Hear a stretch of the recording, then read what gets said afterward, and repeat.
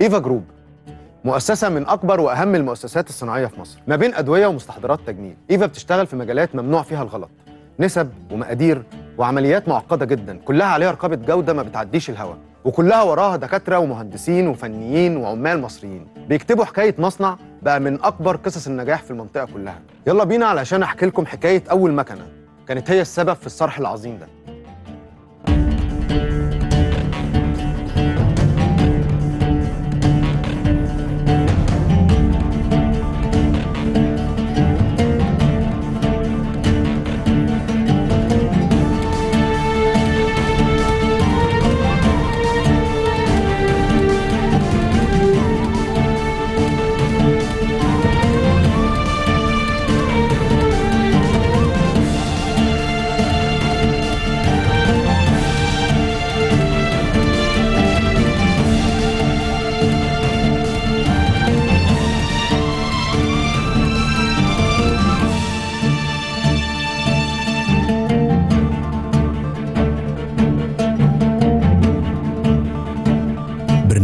الكونتينر الراعي الرئيسي حديد عز خبراء صناعة الصلب في مصر والشرق الأوسط.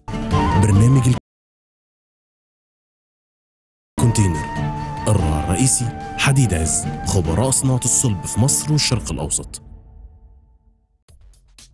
هنرجع تاني لمصر القديمة. كل ما نحاول نجيب الموضوع من أوله بيرجعنا لمصر القديمة. موضوعنا النهاردة هو جزئين. أول جزء دلع على الآخر. أول ناس اهتموا بشكلهم ونظافتهم كانوا المصريين القدماء. اخترعوا الكريمات لترطيب البشرة والزيوت للجسم والشعر وحتى العطور والمكياج وأدوات إزالة الشعر كمان. والجزء الثاني هو الطب والأدوية. الحاجتين دول بيرجعوا لمصر القديمة. المهم إنه النهاردة في مصر في عائلة مصرية جدا. مكملة المسيرة دي وهي عائلة الدكتور رياض أرمانيوس ابنه دكتور منير كمل مسيرة والده. والنهاردة أحفاده لسه مكملين. الجيل الثالث من عائلة أرمانيوس هم اللي ورا إمبراطورية إيفا جروب اللي بتضم مصنع إيفا كوزماتكس لمستحضرات التجميل وإيفا فارما لصناعة الأدوية. أنا مبسوط إن أنا بصور مع حضرتك النهارده وبالصدفة عرفت إن إيفا كوزماتكس بقى لهم 50 سنة. خمسين سنة يا داوود خمسين سنة قصة ورا كل منتج قصة في كل بيت مصري وخرجت من كل بيت مصري وطلعت للمنطقة وطلعت لأوروبا. ببداية جميلة سنة 72 آه، بدأها والدي دكتور منير أرمانيوس بداية صغيرة جدا ابتدت من صيدلية في الموسكي آه، بتعمل كل التركيبات اللي كان السوق محتاجها في الوقت ده لأن الوقت ده كان السوق المنتجات المتاحة فيه قليلة جدا جدا. بتتعمل في الصيدلية وتتوزع عن طريقه وعن طريق آه، أعمدة حقيقية كافحت وشاركت في النجاح ده. ومن حظنا ان هم لسه موجودين معانا النهارده.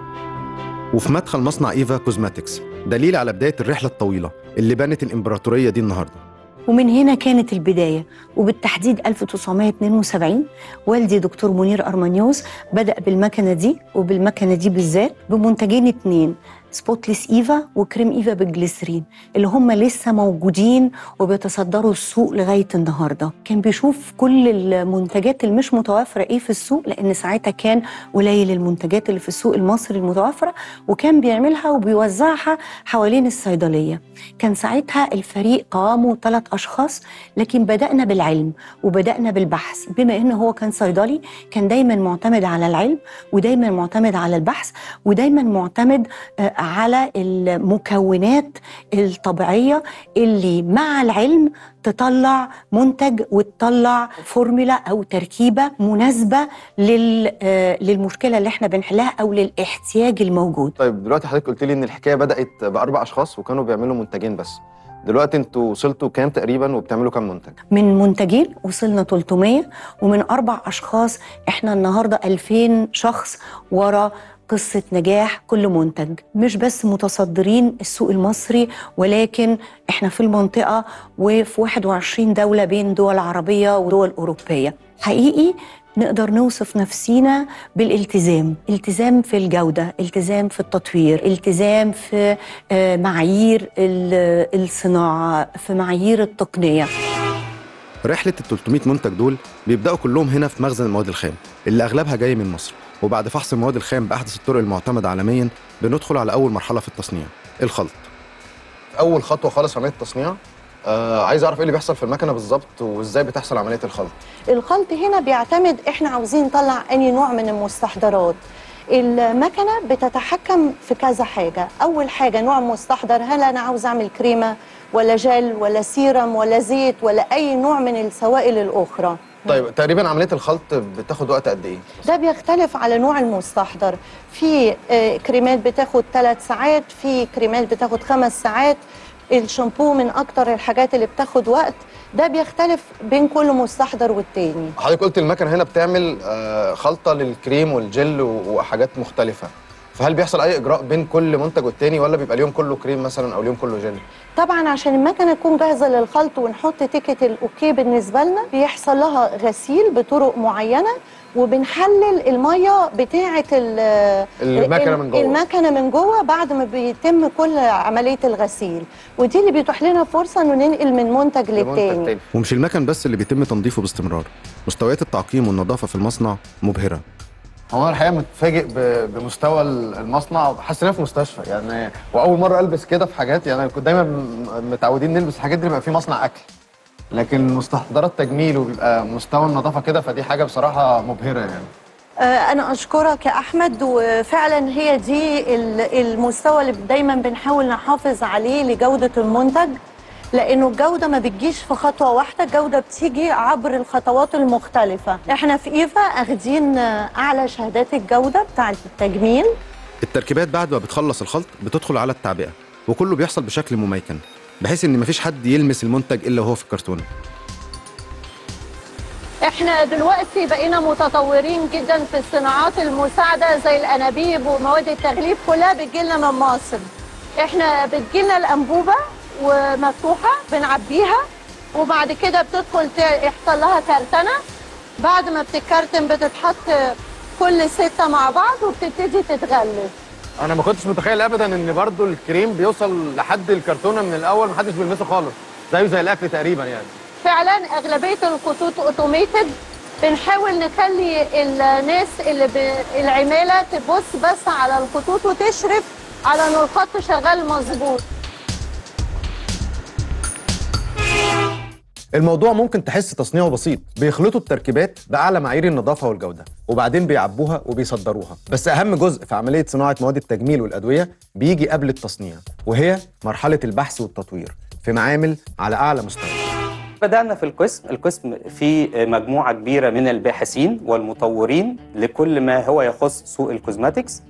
إحنا دايما بنفكر هو إيه اللي المستهلك محتاجه وايه الدراسات الاستباقية اللي إحنا ممكن نعملها علشان نبقى عارفين المستهلك هيحتاج إيه مستقبليا. وده دايما اللي بيميز إيفا كوزماتكس إن إحنا دايما مش بس بندور المستهلك محتاج إيه إحنا بندور في المستقبل ممكن يبقى محتاج إيه. وبنعمل دراسة إكلينيكية إن إحنا بنتأكد من فعالية المنتج ده. وده دايما بنعمله في معامل خارجية معتمدة تقول لنا المنتج بتاعنا ده فعاليته هتوصل إلى أي مدى مع المستهلك علشان يحقق احتياجاته. موضوع البحث والتطوير ده معقد جدا. إنهم يقدروا يواكبوا كل التطورات اللي بتحصل في عالم التجميل. هم مش بس بيواكبوها هم كمان بيخترعوا تركيبات مش موجودة في أي مكان تاني. فهو ده اللي خلاهم النهارده بيصنعوا منتجات لشركات عالمية. هنا في مصر طبعا بجانب منتجات إيفا بيصنعوا حاجات زي سنسوداين وفا ما كنتش متخيل إن كل المنتجات دي بتحصل هنا في المصنع يعني. شفت يا أحمد المنتجات دي زي ما قلنا آه، المنتجات اللي بتتصنع للشركات اللي وثقت في جودتنا وبتخلينا نصنع منتجاتها إذا كان لمصر أو للتصدير منهم آه، سنسوداين منهم فا ومنهم brands كتيرة معروفة في مصر. والمنتجات اللي تحت العلامة بتاعة إيفا زي ما اتفقنا أي حاجة اسمها إيفا الفكرة طالعة من ال team بتاع إيفا التنفيذ ال design التركيبة ال formulation آه لغاية ما إحنا بنشوفها على الرف خطوات كلها طالعة من ال team بتاع آه بتاع إيفا. ما شاء الله. ده ده أنا عارفه من زمان ده. ده من زمان جدا. زي ما إحنا قلنا في البداية آه إيفا بالجليسرين هي العلامة أول بتاعت حاجة. إيفا. أيوة، دي العلامة أول حاجة بتاعت خالص. إيفا. مظبوط مظبوط. دي من سنة 72 طبعا الشكل الخارجي والفورمولا الداخلية حصل عليها تطوير كتير لكن الحمد لله من سنة 72 لغاية النهارده وإحنا بإيفا بالجليسرين آه، بناخد الحصة الأكبر من من السوق يعني. ولغاية. دلوقتي ولغاية دلوقتي. ولغاية دلوقتي الحمد لله. حلو قوي. ودول برضه بشوفهم كتير بصراحة. طبعا إيفا كولاجين ده ال hero بتاعنا. والجميل في المنتج دوت مش بس ال range بتاعه ولكن الجميل إن إحنا بنبيع خارج مصر أكتر من اللي بنبيعه جوه مصر. يعني okay. الكميات بتاعة التصدير بتفوق اللي إحنا بنبيعه في في السوق المحلي. الكولاجين عنده الكولاجين gold كمان بالذهب وبقية ال line بتاعة ال anti-aging منها الهايلورونيك بس دي حاجات أجدد جديدة يعني. هو في حاجات. أنا عارفها وفي حاجات يعني ده جديد ما أعرفش. دول دول أجدد أكتر أجدد منتجات نزلت في السوق دول نزلوا تقريبا من آه، من شهر. okay. برضو anti-aging بس ال serums بمواد فعالة مختلفة. فيتامين E hyaluronic فيتامين C فيتامين B حلو قوي وده بصراحة عجبني جدا برضه ما شفتوش قبل كده. آه حاجة فرعوني كده. آه آه آه. إيه بص؟ يا سيدي دي آه دي منتجات معمولة مخصوص للمتحف المصري آه يعني دي مش الجديد. موجودة في لسه في أي حتة؟ موجودة بس في المحل المتحف. بتاع المتحف المصري okay. الجديد. ال line ده معمول مخصوص للمتحف المصري ولكن دي بداية لل line هننزل بيه اسمه Egyptian Treasure برنامج الكونتينر. الراعي الرئيسي حديد عز خبراء صناعة الصلب في مصر والشرق الأوسط. برنامج الكونتينر. الرئيسي حديد عز خبراء صناعة الصلب في مصر والشرق الأوسط. ولكن إيفا group عندهم مصنع تاني بيعتمد عليه مليون مريض في اليوم الواحد. مصنع إيفا فارما للأدوية والمستحضرات الطبية اللي بيديره الدكتور رياض ارمانيوس دكتور رياض أنا كنت فاكر إن أنا هاجي إيفا فارما هلاقي scale معين في دماغي بس ما شاء الله اللي اكتشفته حاجة عظيمة جدا. محتاج من حضرتك شوية شرح كده تقول لنا إحنا فين بالظبط. اولا أهلا بيك أنتم. منورينا الله يخليك. يعني أهلا بيكم في المجمع الصناعي الثالث لينا في مصر. في المجمع الصناعي ده أربع مباني بتصنع أدوية شغالة. من مبنى بيصنع حبوب وكبسولات مبنى بيصنع حقن antibiotic مبنى بيصنع كبسولات جيلاتينية ومبنى بيصنع فاكسينات. okay. مجمع فاكسينات كامل. وفي مصنعين بيتبنوا. مصنع هيكون بيصنع أدوية بيولوجية بما فيها إنسولينات ومصنع الحقيقة هيصنع خامات فعالة وده هيكون فريد من نوعه يمكن في القارة ككل. في المجمع ده هتلاقي إنه المكان اللي إحنا فيه إحنا في نص ال core ده مم. أو الدايرة اللي إحنا فيها. okay. هي الدايرة زي ما أنت شايف. okay. هو الدايرة وال- وال- والجناحين دول هو اللوجو بتاع المكان بالظبط. بتاع الشركة. بالظبط. اللوجو آه. اللي هو بنحاول نوصل بيه للناس إن صحتك في أمان. امم ال core في آه. أمان. okay. في المجمع الصناعي ده وما بين المجمعات الصناعية التانية اللي موجودة في مصر إحنا أكتر من 4500 زميل وزميلة. okay. بيشتغلوا كل يوم عشان يطلعوا دواء بيوصل لأكتر من مليون مريض. كل يوم. ما شاء الله. المكان كله معمول على أساس جودة ونظام توكيد جودة في كل تفصيلة في المكان اللي إحنا فيه. وده اللي بيمكننا إن إحنا نقدر نكون بنصدر لاكثر من 42 دولة. ما شاء الله. 42 دولة من كل دول الخليج. أغلبية الدول الأفريقية وكل دول غرب أوروبا ودلوقتي بنتوسع الحقيقة لأمريكا كمان. المصنع بينتج كل أنواع الأدوية من حبوب وكبسولات وأدوية سائله زي أدوية الشرب والحقن وكمان مراهم علاجية وتطعيمات مختلفة. كل ده بيتصدر لاكثر من 42 دولة حوالين العالم. قصتنا ابتدت من أكتر من 100 سنة. okay. من 100 سنة كانت البداية بشركة توزيع 1917 تاني مصنع أدوية في مصر ويمكن في القارة الأفريقية. كان اسمه معامل الدلتا للأدوية okay. وقتها كان بيسموا مصانع الأدوية معامل. معامل الدلتا للأدوية كان 1935 1935 معامل الدلتا للأدوية كان الحقيقة مصنع متطور كان فيه مستحضرات بأشكال صيدلية مختلفة ويمكن منه ابتدى يتكون فريق العمل اللي كون شركات مختلفة في مجموعة الشركات إيفا جروب. يمكن ال... الكيان الصناعي اللي إحنا فيه النهاردة اتأسس في آخر 99 بأول مصنع اللي موجود في منطقة الهرم وبعد كده مصنع تاني وإحنا في المجمع الصناعي الثالث. المصنع هنا بيقدر يعمل المعادلة الصعبة من إن أنت عندك جودة عالمية ولكن بثمن آه، في مت... يعني مت... في متناول الجميع من خلال جودة ولكن حجم كبير فبيقدر يعمل اقتصادات كم؟ فبيقدر يخلي ال- الجودة دي تتعمل بثمن منافس. مراحل تصنيع الأدوية الأساس بتاعها هي مرحلة التطوير والابتكار. المعامل بتعمل أبحاث لأحدث التركيبات الدوائية لعلاج أمراض مختلفة. بعد البحث بيقوموا بمرحلة الاختبارات لحد ما بيوصلوا للمرحلة النهائية. مرحلة الشهادة العلمية اللي بتأكد سلامة وفعالية الدواء. وعشان كده مصنع إيفا فارما بيصدر الأدوية بتاعته للعالم كله. ولكن خطوات تصنيع الأدوية بتتم على نطاق أكبر بكتير من مصانع التجميل وده واضح من حجم المكان.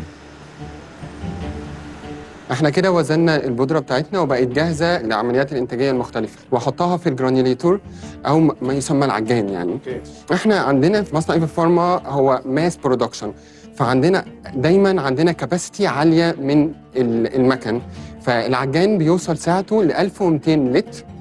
علشان يقدر يشغل على حسب كثافة البودرة لغاية 400 كيلو جرام من البودرة. بعد ما تتم المرحلة دي نبتدي سحبها بال vacuum برضو ل container وسيط علشان تتم عملية الطحن عشان نوصل لل particle size اللي إحنا محتاجينها عشان نحولها لقرص أو نحطها في الكبسول فيلم.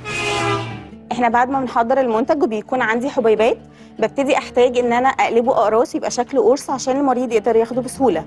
فبيبقى عندي مكنة الكبس بتاعتي بيبتدي تنزل فيها البودرة ويتكبس ويبقى الشكل بتاعه آه، شكل القرص. طبعا كل قرص أو كل منتج على حسب شكله وعلى حسب الحجم بتاعه. المكنة اللي عندنا بتكون مكنة كفاءتها عالية جدا وسرعتها عالية جدا. ممكن توصل معايا المليون قرص في الساعة. طبعا زي ما قلت على حسب حجم القرص وشكله. آه، دي من أحدث المكنات الموجودة في العالم كله. بس هنا المكنه ممكن تقدري تخلي جزء منها راس وجزء كبسولة. لا دي كلها أقراص بس. الكبسول ليها مكنه تانية لأن ليها بروسيس تانية خالص. بتكون عبارة عن كبسولة بتجيلي آه، مقفولة هي بتتفتح وبنبتدي نعبي جواها البودرة. ده موضوع تاني خالص. بالظبط. دي حاجة. تانية. ما تبقاش بالظبط. كلها فهمت. بعد ما بقى عندي قرص محتاج القرص ده يتحط في آخر حاجة هيوصل بيها للعيان اللي هي الشريط. okay. فبنخش على مرحلة التشريط. بمعنى إحنا إيفا بتمتلك أحدث مكن تشريط في العالم. بأعلى capacity أو بأعلى إنتاجية بيوصل لغاية 30 ألف شريط في الساعة يعني حوالي 300 ألف جرعة في الساعة. ما شاء الله. الشريط بيبقى فيه كام واحدة 10 10 okay. في المتوسط بيبقى فيه 10 في okay. حاجات أكتر وفي حاجات أقل. okay. بعد كده فكرة المكنة إن مش بس حطيت القرص جوه الشريط. المكنة totally automatic بمعنى إن أنا بعد ما حطيت القرص جوه الشريط المكنة بتكمل بعد كده بتعمل فحص 100% لكل الشرايط اللي طالعة. حلو. بحيث إن أنا أتأكد إن كل الشرايط كاملة ما فيهاش حاجة ناقصة ما فيش قرص مختلف ما فيش أي حاجة مختلفة. okay. وبتكمل بعد كده بتحطه جوه العلبة وعلى حسب المنتج العلبة محتاجة فيها كام شريط والنشرة. فبيعدي الشرايط لو آه. العلبة فيها ثلاث شرايط فبتحط ويلف النشرة حواليهم طبعا زي ما بنشوف العلبة بنفتحها بالظبط كده. أيوه. بنفس المنظر ده توصل للناحية الثانية في التغليف. جاهزة على التعبئة توصل للأسواق اللي بنصدر لها إنتاجاتنا والأسواق المحلية في نفس الوقت. ده اللي مكننا الكباستي العالية دي الحمد لله اللي مكنتنا إن إحنا نكفي احتياجات السوق المحلي ونصدر ل 42 دولة حوالين العالم ولسه إن شاء الله بنزودهم. ما شاء الله. طب هل الحاجات اللي بتتصدر بره بيبقى عليها أي مراقبة تانية ولا هو مجرد هي نفس المراقبة. هي نفس المراقبة؟ وإحنا ساعات كتير بنعمل تشغيلة إنتاجية جزء منها بيبقى السوق المحلي أوكي. وأجزاء منها بتص- بيروح. أوروبا بيروح أسواق مختلفة في الخليج أو أسواق أفريقية. آخر حاجة دايما لما حد بيسافر أنت بتوصيه تقول له ممكن تجيب لي شوية فيتامينات وأنت راجع؟ عملنا استثمار آه، وقدرنا إن إحنا ننزل مجموعة من الأدوية المكملات الغذائية اللي بيخلي المستحضرات دي موجودة في بلدنا آه، موجودة بسعر منافس آه، موجودة طول الوقت. عشان ما فيش حد يحتاج إن هو يطلب من أي حد مسافر إن يجيب له مكملات غذائية. وبنعمل المكملات دي في مصانع أدوية مراقب عليها فطبعا المنتج بيطلع 10 على 10 حلو. كل إنتاج مصنع إيفا للتجميل وإيفا فارما بيتجمع في المخازن وبيطلع على المواني للتصدير من هنا من مصر للعالم كله في ال container.